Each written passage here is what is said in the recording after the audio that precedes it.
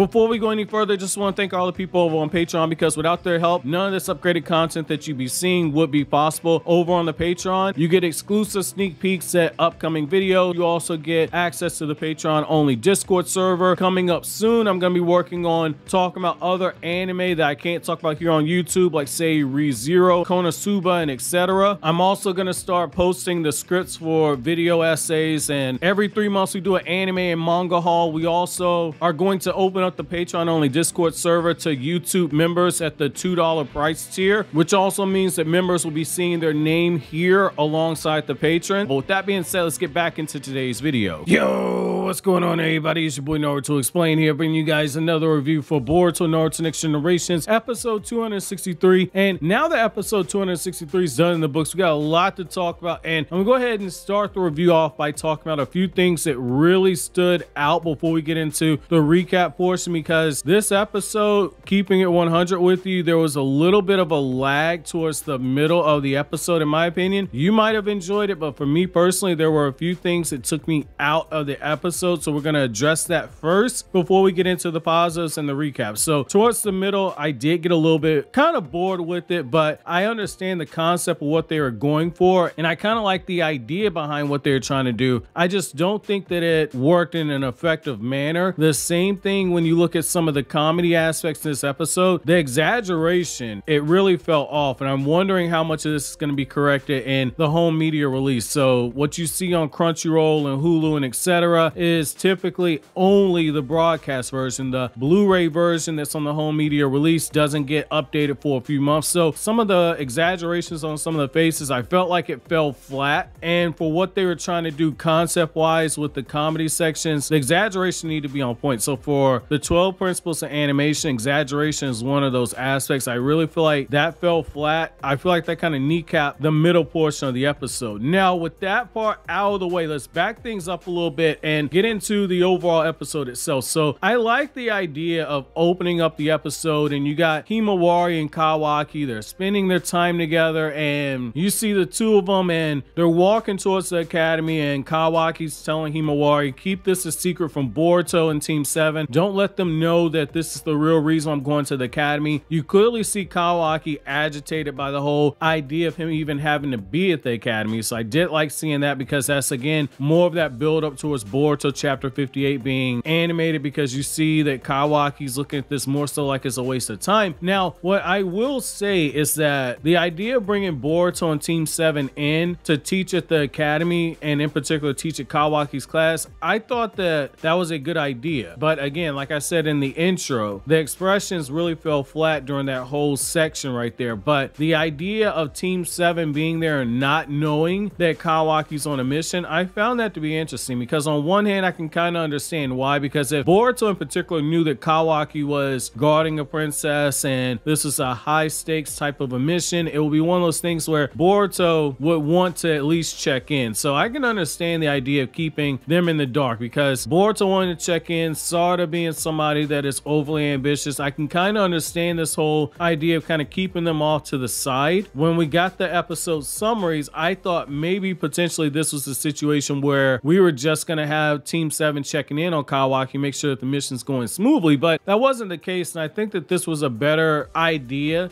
storytelling wise to not go that route. So I thought that that part right there was fine. But when Team 7 shows up after they get all this hype of, oh yeah, they're rookies, but they gone on S rank missions, which we as the audience know, like the Owl mission ended up turning into an S rank mission once Kashin Koji and Kawaki showed up. The Deepa mission ended up turning into an S rank mission. Went back for the rematch. The same thing when you get to the situation with Boro. So we've seen that Team 7's definitely more experienced. And I like how when Boruto and the class are interacting and you see Boruto and Sarada and Mitsuki and they're using all their elemental jutsu, it really just goes to further show and highlight how far ahead Boruto and his team are in comparison to somebody like the school teacher Hana, who she can use change in chakra nature, but she can't do anything on the same scale of Boruto and his classmates. And I think that sometimes fans, we're aware of just how skilled Boruto and his classmates are, but at the same time don't truly understand how skilled and how strong they actually are. You go with the Boruto movie novelization, they were already being compared at that point to Jonin, and when you look at what Kakashi said during the Academy arc, he was already saying that Boruto was easily Chunin level and maybe even potentially a little higher. So I like what you see right here when Boruto and Team 7 show up and just immediately upstage the teacher. And what I also found interesting was that the kids that Himawari had done the tryout with to get into the academy, I like that we get a moment to check in with them. It feels like that's more testing the waters to see how they interact or whatnot and how they get over with the audience. We might see them as a team. Now, I liked it when we saw Boruto and he's demonstrating for the classroom how to actually use a Rasengan and you see Sarada, she's using the fire style jutsu. We see Mitsuki using the lightning snake jutsu. You see their extreme shock control in the sense that they're not just going all out, but they're doing just enough to output enough chakra to perform the jutsu. I thought that that was nice to see that aspect right there. And you get this moment where Boruto begins to start teasing Kawaki and he's like, yo, you know, it's so cool that you're coming here to the academy to learn the proper way to be a ninja, even though you're technically a Genin right now. I'm going to give you my full support so you can become a splendid ninja. You see Boruto just eating this shit up. And it's one of those things where you're looking at Boruto, you realize why he's got that shitty grin on his face. And when Kawaki gets fed up with it, he lashes out at him for a second. And the Boruto and Kawaki have a moment where they swap hands for a brief moment and Himawari's getting totally embarrassed because she's like, every time Boruto, Sarada, and Kawaki get together, you know, things end up like this. They start fighting. And this is where I kind of feel like the episode started kind of falling apart when they start trying to implement some of the comedy aspects. And what I will say is that Boruto has a good idea to try and teach the class the whole thing about teamwork. But the problem is, is that we're seeing the downside to Boruto being a genius. So the thing you have to keep in mind is that the smartest people are not always cut out to be a teacher. That takes a very special skill set to actually be able to teach people. You might be the best at doing something, but you might not be the best to explain to somebody how to actually do something. And you see it with Boruto, that's not his calling card. Boruto, Sarada, Mitsuki. Sarada has a little bit of an idea that this might not be a good idea, but she's going along with it anyway. But this classroom is way too immature to handle anything like teamwork because Boruto decides to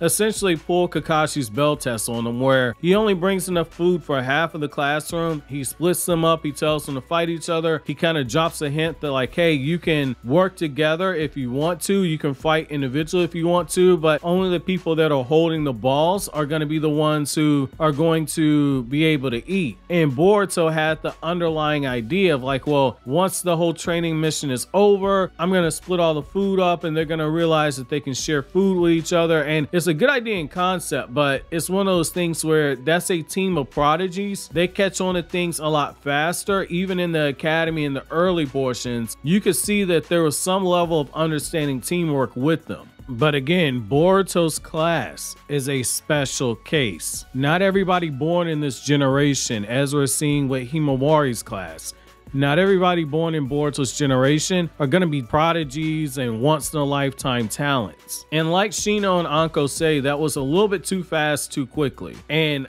I kind of like seeing that there are some things that Boruto and Team 7 cannot do. Again, that's just not their calling card. But they're so talented that you have to do what Shino and Anko do at the end of the episode, which is invite them to come back to teach at the academy because as they start moving up at the ranks, they're going to be expected to give back and give special instruction at the academy to the next generation. So they're going to need it for the development ultimately, especially given the fact that Boruto and Mitsuki, they're just utter geniuses. And Sarada is somebody who wants to become Hokage. She's going to have to do what Naruto did, which is she's going to have to routinely start giving special instructions at the academy because she needs to see firsthand the students who she's going to be in charge of when she eventually becomes Hokage, and those students are ninja. Which, if you want more information on why Kakashi sent Naruto to the academy to teach and what classes Naruto taught at the academy, I recommend checking out the videos you're seeing on the screen right now. I'll also leave them down in the description box anybody that's interested. There'll be in links one and two in the description. Those videos are also in the After Naruto Shippuden playlist where we talk about everything that happened after Shippuden that you did not see in the anime that goes more in detail about stuff that might seem like a plot hole in Boruto. Now, the other thing that I will say though is we have this moment where one of the kids that Himawari had teamed up with when she did the Academy Trial episode ends up taking things way too literally and seriously and he ends up starting the whole conflict and splitting the classroom up and you really get a moment to actually see Hana, the school teacher, begin to start shining right here because the classroom, they're boycotting. She's going over her students' personnel files and she has a moment where she reaches out to one of the students and she's like, hey, you look up to Might Guy. Don't you understand that Might Guy and the Six Hokage, they were rivals at one point and they didn't always see eye to eye, but they managed to coexist? Can't you consider doing something like that? I thought that that was a nice touch right there for her to actually implement something like that. The same thing when it comes to the kid that was on Himawari's team that he looks up to the Hokage. She brought him to Ichiraki Ramen stand in order to have him eat at a place that is near and dear to Naruto's heart. And she's just doing her best to try and appeal. And it's one of those things where the students understood what she was trying to do, and they essentially give her an olive branch. This comes after Boruto tries and fails to bring the two sides together. And I understand from a writing perspective why you do this because it just shows that even though Boruto and Team 7, they're far more skilled than this academy teacher, she's more skilled than them in things other than ninjutsu. So I understand what they're doing here. Again, I just felt like the middle part of this episode fell flat, but that's more so of an animation critique, not necessarily about the writing. Normally when I do these reviews, I kind of just focus on the craft elements, in particular the writing elements, but but today we had to switch it up a little bit. Both things can be true. You can have a section of the episode that falls flat and you can also have parts of it where it's actually good writing,